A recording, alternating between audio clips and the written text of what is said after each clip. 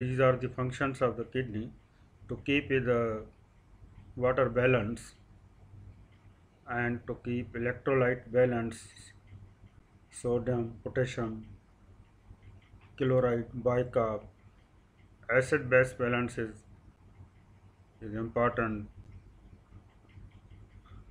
and removal of the nitrogenous waste material like urea and creatinine. Kidney has got also endocrine function like activation of the vitamin D that is vitamin D3 125 dihydroxycholecalciferol and it has got important function to produce the hormone that is called erythropoietin. This erythropoietin hormone causes erythropoiesis that cause increased production of the red blood cells so when the kidneys are affected the patient become anemic due to erythropoietin deficiency or due to vitamin D deficiency. Mineral bone disease takes place or dystrophy takes place. So dialysis is the basically there is the dia means through lysis means filtration through a semi-permeable membrane. Basically it is a greek word. There are various types of the dialysis. One is hemodialysis. Hemodialysis heme means blood. Dialysis means filtration of blood means solutes and extra water is removed and again re-entered in the body. It is also called the artificial kidney. APD is called acute peritoneal dialysis. This peritoneal dialysis is indicated in the acute renal failure or in the acute conditions. It is a temporary dialysis other form is CAPD, continuous ambulatory peritoneal dialysis. Basically, this dialysis is indicated in end-stage renal disease when the patient require permanent hemodialysis or renal transplant. Either patient put on the CAPD or maintenance hemodialysis, regular dialysis. In CAPD, this uh, in which the Tenckhoff catheter is inserted in the peritoneal cavity and by peritoneal solution various sessions of dialysis has been conducted to remove the solutes and the extra water. It is also home dialysis, continuous ambulatory, patient can walk. Other form of the hemodialysis is dialysis is a part which is usually applied in the ICU patients in critical care units. When the patient develops acute kidney injury that is called CRRT, continuous renal replacement therapy, in which the 20 to 24 hours or 12 hour dialysis takes place slowly with a low blood flow because in case of other form of dialysis like in the hemodialysis machine so patient hypotension can occur but in CRRT this is uh, another separate machine in which hypotension doesn't takes place. So these are the various form of the dialysis. Now coming to the indication of the dialysis, whatever the dialysis, either hemodialysis or peritoneal dialysis. So the indications are the uremic syndrome.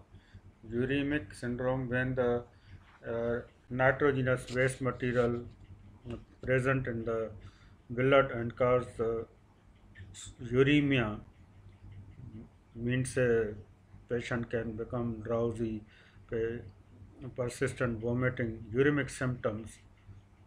So then it is indicated or when potassium is high it is acute emergency.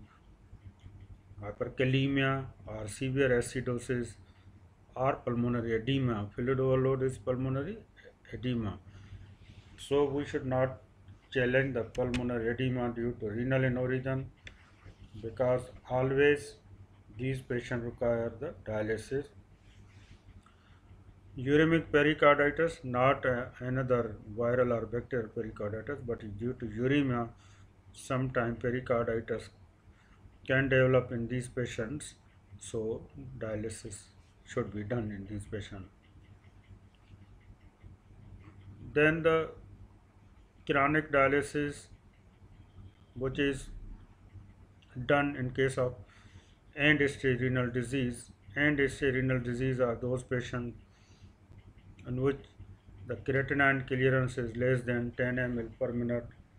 When the patient develop end stage renal disease, whatever the cause, we should do the either maintenance hemodialysis or renal transplant.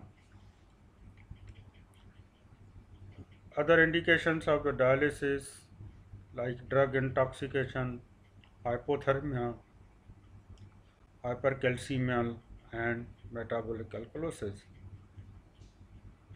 Relative contraindication to dialysis therapy, though these patients require dialysis, but there are relative contraindications like in old age, dementia, multi-infarct dementia, Alzheimer's disease, or HRS, hepatorenal syndrome, or advanced malignancy, advanced cirrhosis with encephalopathy.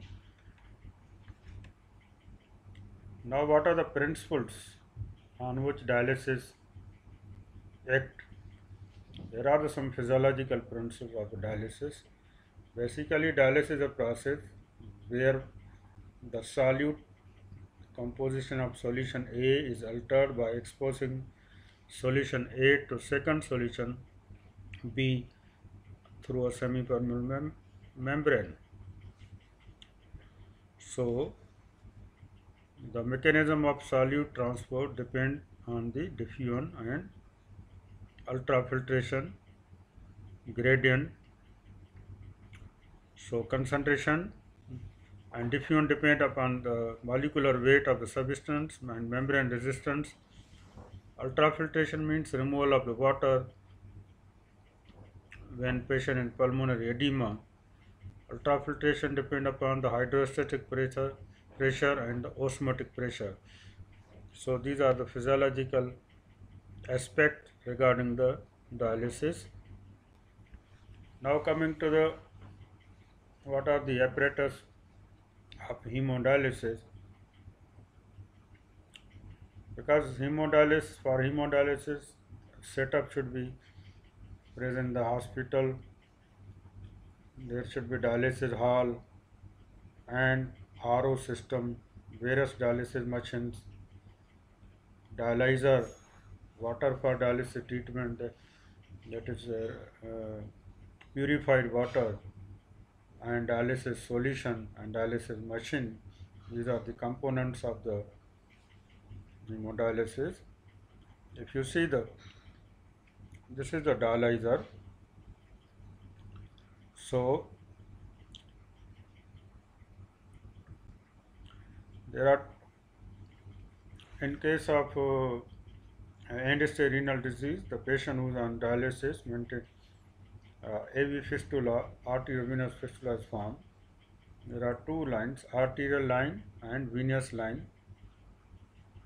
Okay. So blood goes from the uh, from the arterial line and move from the venous line. Here the suction pump, pump and from RO there is water, conductivity, temperature and these are the concentration. So these are the various component of the dialyzers. This is slide shows the arterial line and the venous line. This picture of our patient in our department of nephrology JPMC She is on dialysis. Uh, this is the practical patient. Uh, end stage renal disease. You see on the side hemodialysis machine and two lines, arterial line on two clusters and venous line.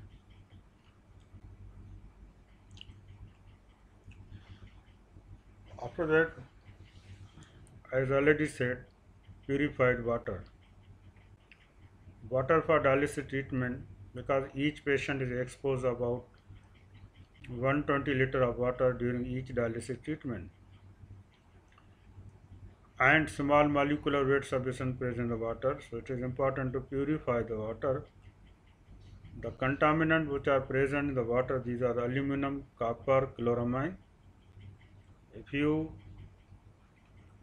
can't purify the water by RO system the bone disease anemia and progressive neurological deterioration may occur so aluminum can cause and copper can cause the hemolytic anemia.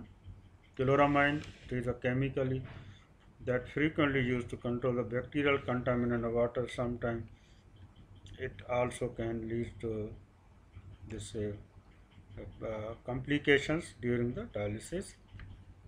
So now what are the methods of the purifying the water?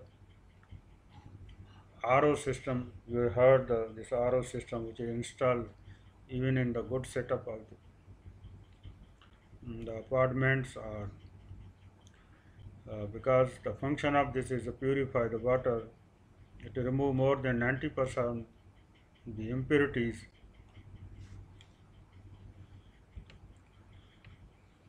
after the purification of water we need the dialysis solution for the dialysis there are two types of the dialysis solution one is acetate other is the bicarbonate Nowadays, acetate is replaced by bicarbonate. The beauty of bicarbonate, it does not cause the hypotension and it does not cause the nausea vomiting. But acetate can cause the vasodilatation, hypotension and a nausea vomiting. So it is uh, majority of the setup is replaced by bicarbonate. If you see the composition, composition is almost same sodium, potassium, calcium, magnesium, almost same. Only in the acetate, you see the acetate portion is 35 to 38, but in the bicarbonate, it is present is a 35 to 38. Otherwise, composition is same. Now, what are the advantages and disadvantages of hemodialysis and peritoneal dialysis? because hemo, hemodialysis is a short treatment time, 4 hours, thrice a week, but peritoneal dialysis is a long duration of the treatment. CAPD, continuous ambulatory peritoneal dialysis. Hemodialysis is highly efficient for small solute removal and peritoneal dialysis is highly effective for large solute removal. Blood pressure is better controlled in peritoneal dialysis. Hemodialysis are usually performed in the dialysis hall. So there are so many patients which are in the dialysis that are coming for dialysis thrice a week. So usually these patients meet with each other and they can discuss their issue. So socialization occur in the dialysis center. We can use intraperitoneal solution and dialysis is a source of nutrition. And but it is one good advantage. It is the self-care form of therapy. Even it is it can be done at home. So coming to the disadvantages. Hemodialysis require the anticoagulant and heparin need vascular access in temporary internal jugular catheter, IJ catheter, or femoral catheter, in permanent or maintenance hemodialysis and renal disease patient require AV fistula or AV graft. Hypotension is usually occur due to fluid removal or ultrafiltration. Blood pressure fluctuation may occur These patients require the diet and treatment schedule. If you see the on left side, the complications, disadvantages of the peritoneal dialysis. Peritonitis sometimes occur. Obesity because glucose is more in this patient. Lip- Dyslipidemia. And if the patient can't take diet, proper diet due to peritonitis, sometimes malnutrition occur. Hernia formation, back pain is the com- complication of the or disadvantages of the peritoneal dialysis. Now coming to the so we have discussed uh, dialysis, types of the dialysis, indication of the dialysis, physiological principle of the dialysis, requirement for the dialysis, setup for dialysis, RO system, dialysis solution. Then, what are the acute complications of the uh, hemodialysis? Because our topic is hemodialysis, its types and complications. Now, coming to the last portion is the complications. Major complication in the hemodialysis usually seen is the hypotension. It is a multifactorial, either due to more ultrafiltration removal or more solute removal or due to vasodilatation. Second is the muscle cramps, again due to more ultrafiltration, more solute removal. Nausea, vomiting can occur in these patients due to DDS, dialysis disequilibrium syndrome. Headache may occur, chest pain, and due to line, IJ catheter, sometimes fever, chills. Intractable itching sometimes occur in these patients due to, which is all again multifactorial, hyperphosphatemia, or due to heparin anticoagulant, or due to dialyzer reaction, or due to dialysis solution. If you can't use the proper uh, anticoagulant, clotting may occur, or due to low blood flow, or problem in the fistula, clotting may occur. Sometimes fits, seizures can occur in these patients. That is also multifactorial hemolysis due to again due to various causes. Some if the blood pressure shoot up, these patients can develop intracranial bleed. So infections, infectious disease are major cause of morbidity and mortality in patient on long-term maintenance hemodialysis. We should control the infections. What are the factors that contribute to infections? Because these patients of end-stage disease are immunocompromised, malnutrition, diabetes, vascular access problem, or extracorporeal circulation contamination, or we should uh, are not using the disinfection or sterilization, or universal precautions are not applied.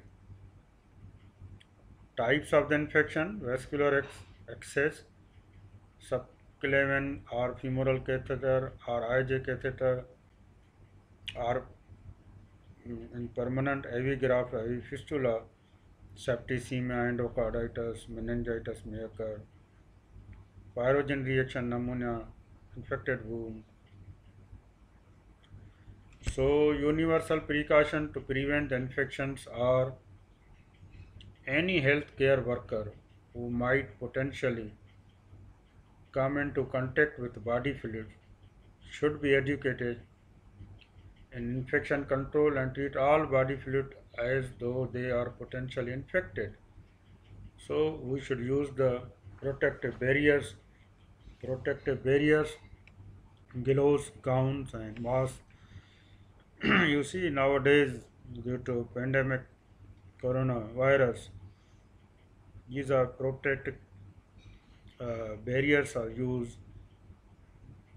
Uh, mask very important, and healthcare worker gown and gloves So these three are very important to avoid the contamination or prone to infections. We should properly dispose the needles and we should uh, proper sampling of these things, proper handling of this. Now coming to the hypotension, that is a common cause, various factors that leads to hypotension. One is related to excessive decrease in blood volume or removal of the more water from the body, ultrafiltration rate. High ultrafiltration, ultrafiltration means removal of the more water from the body. Our target dry weight say too low, dry weight concept of dry weight dry weight means on this weight patient is asymptomatic no hypotension and patient can perform his routine life uh, and he can eat uh, good so that is called target dry weight if you keep low then dialysis technician will remove the more water, the patient can develop hypotension. Or dialysis sodium, if you keep low, so hyponatremia, patient can develop hypotension. Other causes, when vasodilatation occur or lack of vasoconstriction. Already told you, acetate containing dialysis solution. Dialysis solution if is warm or during during dialysis dialysis if the patient take the food especially in the diabetic patient or autonomic neuropathy splanchnic vasodilatation occur. So hypotension tissue ischemia due to adenosine mediated aggravated by low hematocrit anemic patient autonomic neuropathy. Always we should counsel to the patient, you should not take the antihypertensive medication and the uh, suppose the patient in dialysis in the morning, he or she should avoid the antihypertensive medication in the morning dose. After dialysis, when she go to the home, in the evening she should check the blood pressure. If it's high, then she should take the dose. Otherwise, on the day of the dialysis, usually antihypertensive medication should be avoided. Some cardiac factors are ischemic heart disease and uh, drugs and due to left ventricular dysfunction that also leads to hypotension. Uncommon causes of hypertension. We are discussing detailed hypotension because it is the common cause of acute complication of the hemodialysis. Sometimes uncommon causes pericardial tamponade, myocardial infarction, occult hemorrhage, septicemia, arrhythmia, dialyzer reaction either A or B, anaphylactic hemolysis or air embolism that leads to hypotension. Now, if any patient who develop the hypotension, how will you treat the hypotension? Uh, first of all, prevention of hypotension during dialysis. Ultrafiltration controller should be working or it should be properly checked to remove the water properly or not Patient education, weight gain in the 24 hours less than 1 kg per day. They uh, maintain the dry weight, dialysis sodium at or above the plasma level. Already told you antihypertensive medication she should take or he should take after dialysis, not before dialysis. If patient develop dialysis. If the patient develop uh, hypotension due to acetate solution, then it should be replaced by the bicarbonate. And we should reduce the dialysate temperature that is 34 to 36 because if more temperature it causes the vasodilatation hypotension. Keep the patient hematocrit 25 to 30 percent. During dialysis, we should avoid the heavy meals and drinks and frequent monitoring of the blood pressure. So these are the preventive aspects of hypotension during dialysis. Now, if any patient who develop hypotension, how will you manage this patient? We should keep the patient the position Trendelberg position means head down and leg upwards because the blood circulation due to towards the heart patient it is the best uh, tool to control the hypotension and we should give the saline 0.9% bolus 250 not responding 500 we should reduce the filtration rate reduce blood flow and give the oxygen to the patient so these are the management point regarding the hypotension during dialysis.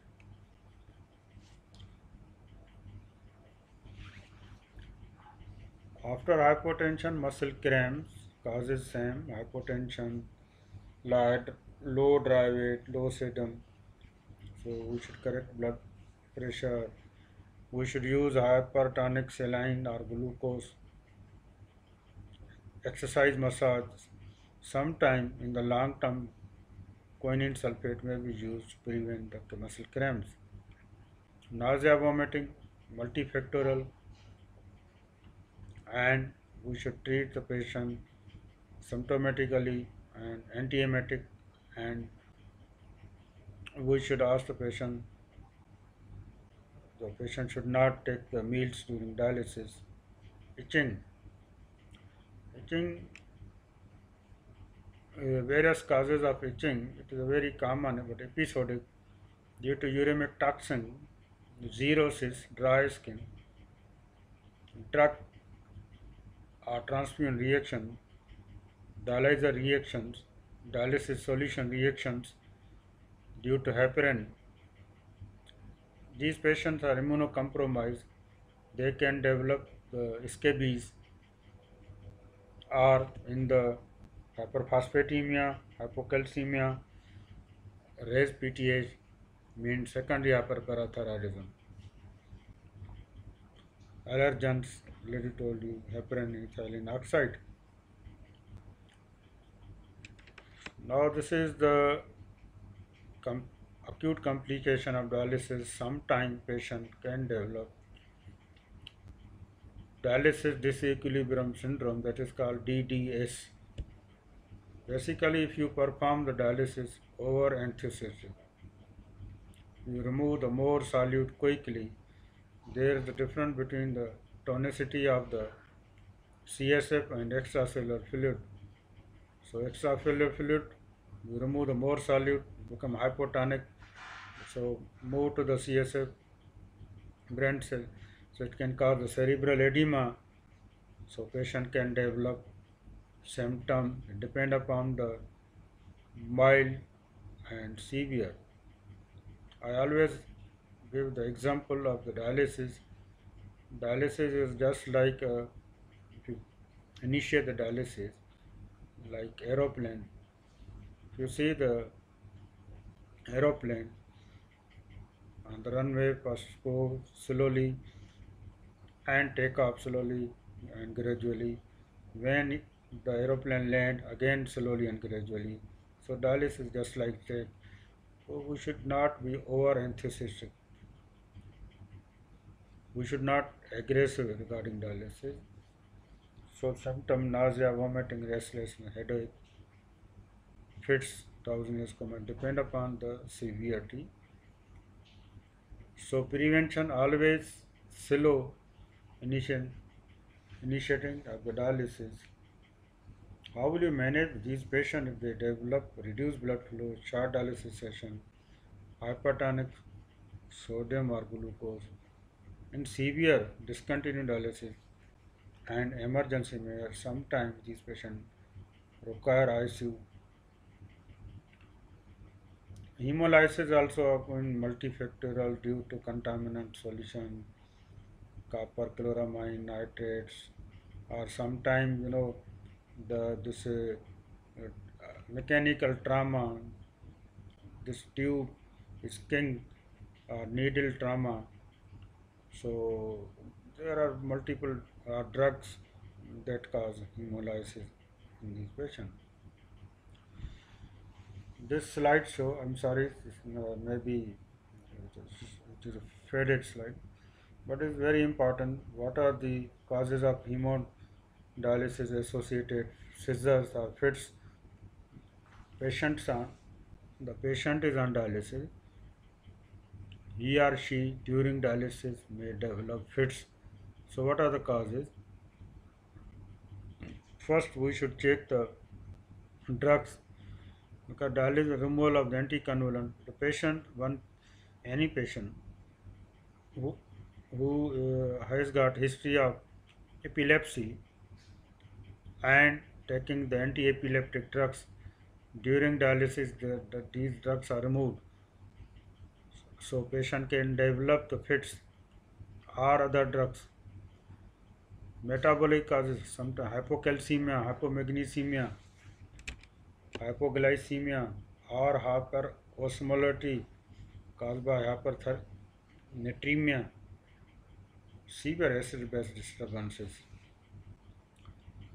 uraemic encephalopathy D D S hypertensive encephalopathy so these are the various contributing factors some cerebral anoxia cardiac arrhythmia sepsis haemorrhage or intracranial bleed patient can develop. Its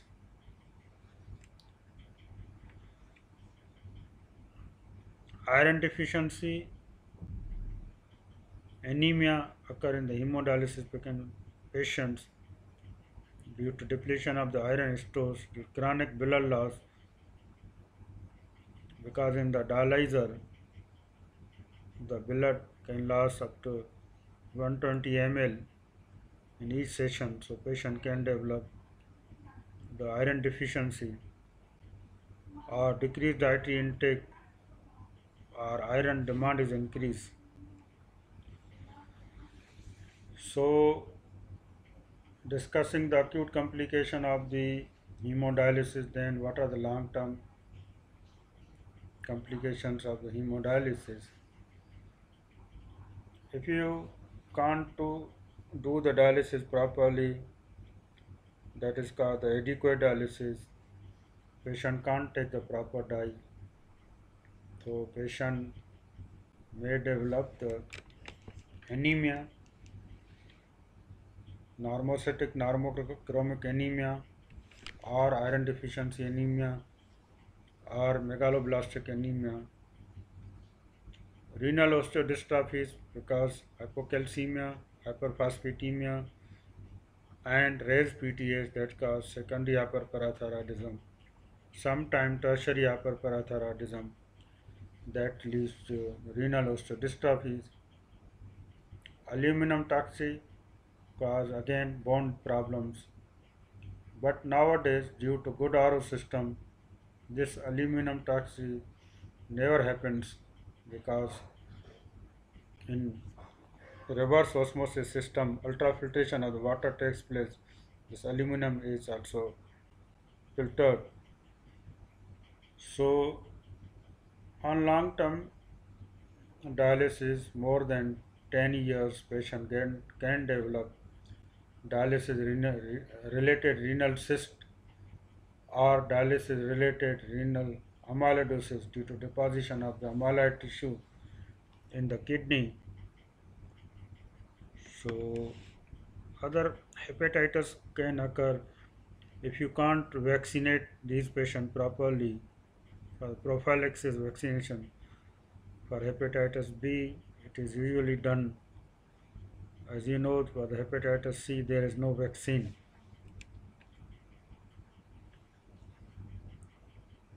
So what are the manifestation of the beta 2 microglobulin amylod- amyloidosis? Osteoarthropathies may occur in this patient. Uh, periarthritis in scapula, humeral carpal tunnel syndrome, flexor tenosynovitis. In, if his amyloid tissue are deposited in the spine, so destructive spondyloarthropathies may occur and extradural amyloid deposit, bone cyst, pathological fractures. So this is the last slide that shows the these hands, you know, in the case of the amyloidosis, dialysis, arthropathies, the left synovial tissue shows the amyloid deposition. And uh, this slide on the left side the, deposition of amyloid. Congo red stain is usually used to confirm the amyloid tissue because congo red has got the penetration and uh, this is, is the presence of amyloid on the bottom is the carpal tunnel syndrome. So this is all of all about regarding the what is dialysis what are the types of the dialysis and its complications types and complications we have discussed as a whole in the detail. So thank you very much. If you ask any question you are most welcome at the department of nephrology